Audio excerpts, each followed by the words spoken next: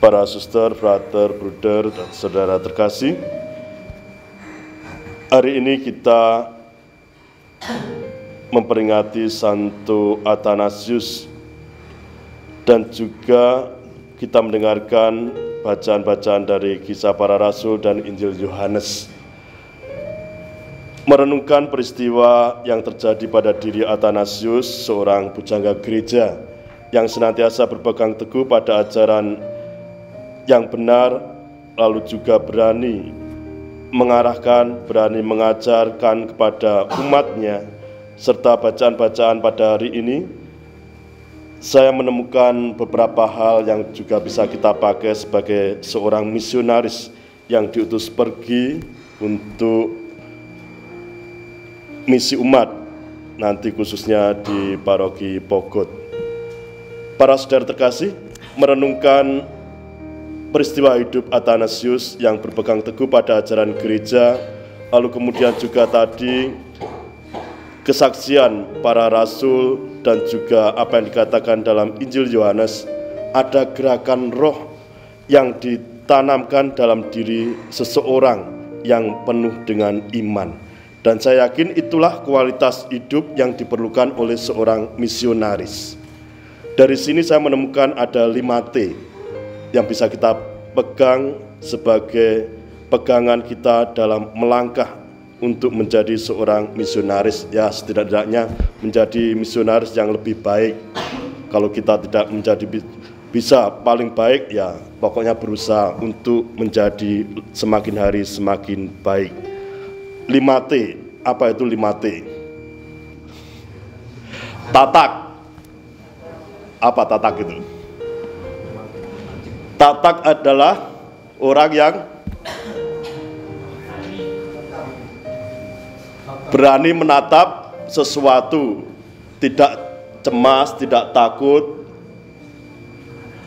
dan juga memiliki suatu keyakinan untuk melangkah. Itu T, tatak. Lalu tetek,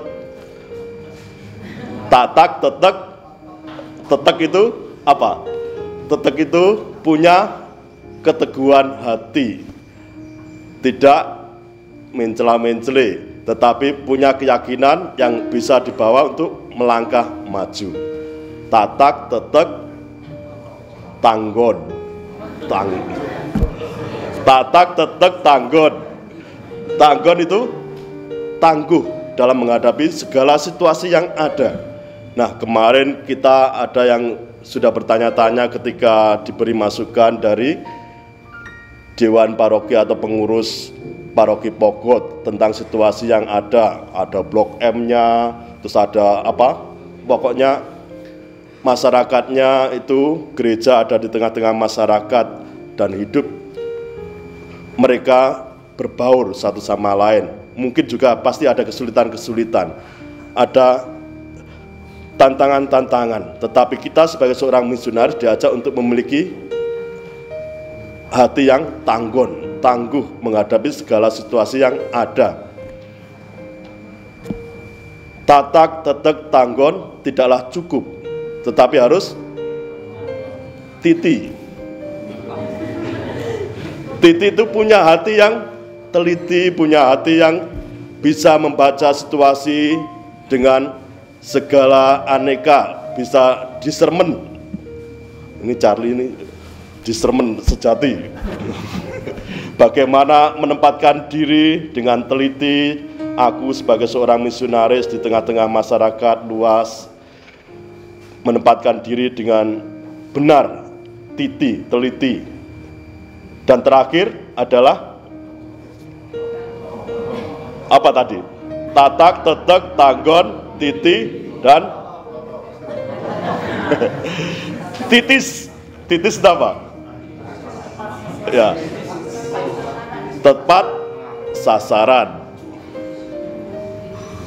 Jadi seorang misionaris hendaknya memiliki kualitas-kualitas pribadi seperti itu. Tatak tetek tanggon titi dan titis. Tepat sasaran dalam mengeluarkan sesuatu yang sungguh-sungguh pada dalam hatinya adalah bersumber dari seperti apa yang dikatakan tadi dalam kisah para rasul maupun dalam Injil karena kekuatan Roh Kudus yang telah dianugerahkan kepada kita semua. Itu tadi kesaksian yang diberikan oleh para rasul. Mereka dipenuhi oleh Roh Kudus. Kami adalah saksi dari segalanya, kami dan Roh Kudus yang dikaruniakan Allah kepada semua orang yang menaati Dia. Lalu kemudian juga tadi Yesus mengatakan, karena Allah mengaruniakan rohnya dengan tidak terbatas. Nah, para saudara terkasih, kita semua yang diutus untuk pergi mewartakan Injil, mewartakan kebenaran, mewartakan ajaran gereja, diajak untuk sungguh-sungguh berani memiliki kualitas-kualitas seperti tadi, tatak, tetek, tanggon, titi, dan titis. Sehingga apa yang kita katakan, apa yang kita lakukan sungguh-sungguh pada akhirnya nanti adalah sebuah kesaksian hidup kita di tengah masyarakat yang mampu mengajak umat sekalian yang kita tempati nanti membangun sebuah persekutuan yang semakin mendalam dalam iman dan relasi dengan Tuhan dan sesama.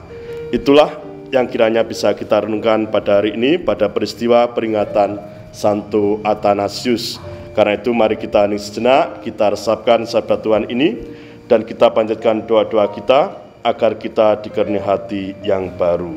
Tuhan membimbing dan berkati kita semua. Amin.